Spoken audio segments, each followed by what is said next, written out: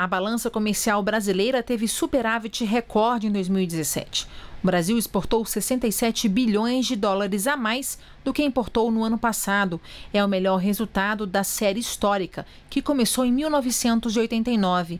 Em 2017, houve aumento tanto das exportações e das importações em relação a 2016. O ministro da Indústria, Comércio Exterior e Serviços comentou sobre o desempenho das exportações.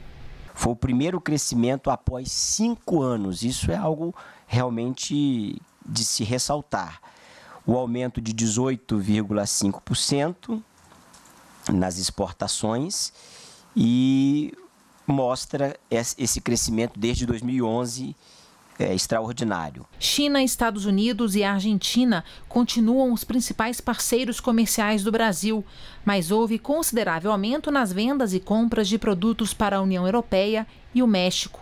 Em 2017, os produtos mais vendidos em volume exportado foram minério de ferro, soja e petróleo bruto. Em valor exportado, os produtos que se destacaram foram soja, automóveis de passageiros e celulose.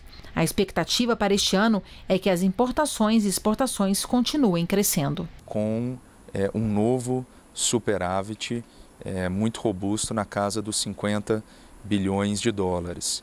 É, e esse aumento das exportações e importações, ele deve ocorrer, por um lado, em razão de um desempenho muito positivo de setores importantes, como o setor produtor de carnes, de automóveis, de minério de ferro e, e, e petróleo, e do lado das importações, é, a projeção de crescimento da economia deve servir como combustível para aumentar a nossa demanda por bens de capital, por insumos e também por bens de consumo, em razão do interesse das famílias que em 2018 é, tem, espera que se tenha mais confiança e melhor renda.